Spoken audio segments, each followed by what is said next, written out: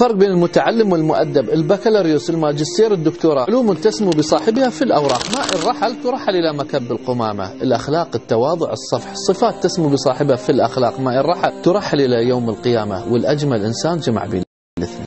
لا يوجد هناك رجل لم يتألم كما لا توجد هناك امرأة لم تبكي. لكن من أدرك أن الحزن فيها لن يدوم وأن الفرح يوما ما سيأتي هو من سيرى هذه الحياة بشكل أجمل. لما يخطئ العقل مرة فإن الإنسان يستفيد. يتعلم وما يكرر نفس الخطأ والزلة. لكن لما يخطئ القلب ولو مرة فإن الإنسان يدفع ثمن خطاه العمر كله. لهذا لا تحب عمق. فعمق حبك اليوم قد يكون عمق جرحك باكر.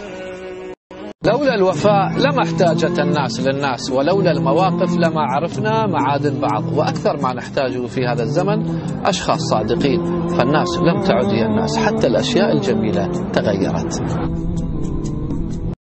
إذا كان إزالة الأذى عن دروب الناس هو أجر فإن إزالة الأذى عن قلوب الناس هو أعظم أجر. خصوصا نحن نعيش في زمن أصبح فيه الإنسان مؤذي جدا.